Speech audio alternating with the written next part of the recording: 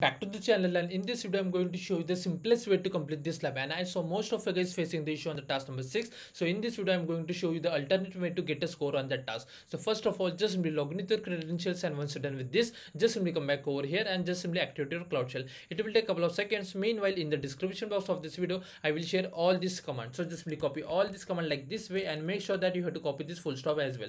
Now just simply copy like this come back over here paste and hit enter. Now just simply wait and then click on this authorize button now just simply wait for this command get execute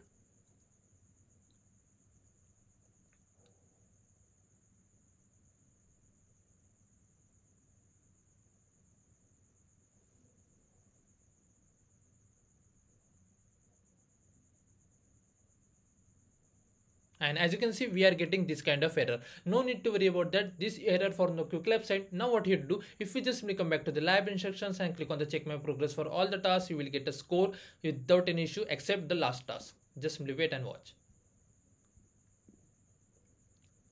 And as you can see on last task we are getting this kind of error. Now what you do just simply come back to the task number three just scroll down and from here just simply copy this schema. Just simply copy like this come back over here. Now here just search for the BigQuery. Open this thing new tab come back over here wait for a second.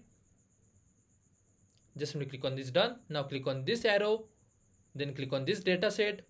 Now here you can see external table just simply click over here and then click on this edit schema then just scroll down and just turn on this toggle. Now just scroll down just simply paste the schema which is just copy from here. Now just simply click on this save just simply wait. And once you get this kind of error no need to worry about this error. And once you get this error come back over here. Now just simply check the score for the last task